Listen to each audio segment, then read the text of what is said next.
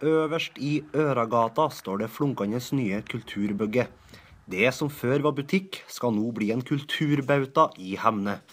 Og sjøl om storsalen ennå ikke er ferdig, var det i dag klart for innflytning for de ansatte i Kulturenheten. Nyinnkjøpt utstyr flyttes nå fra lokaliteter rundt omkring i Hemne og inn i det splitter nye bygget. Og kultursjefen sjøl er godt fornøyd.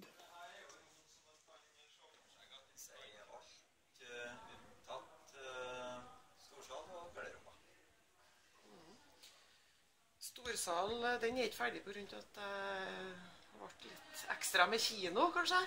Eh, ja, eh, det ble jo litt ekstra, ekstra med, med, for å få til kinoen. Og da eh, er det sånn at eh, det er en del ting som skal bygges på i forbindelse med den. Det er et maskinrom som, eh, som ikke er klart ennå, som ikke har blitt prioritert. Så det er planlagt ferdig nå 15. i fjerde. Bruker de lang tid på å flytte inn i sånn som kulturskole og fritidsklubb? Nå har vi satt av 14 dager, så vi skal bruke eh, vekka her og neste vekka på å, å komme oss sånn noenlunde på plass. Og så skal vi åpne opp da for brukerne av fritidsklubben og kulturskolen.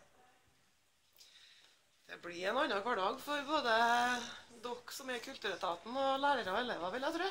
Ja, det blir en helt annen, blir en helt annen hverdag.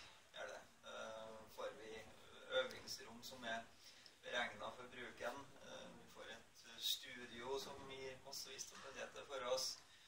Eh, vi får samspillrom. Ja, det blir i hele tatt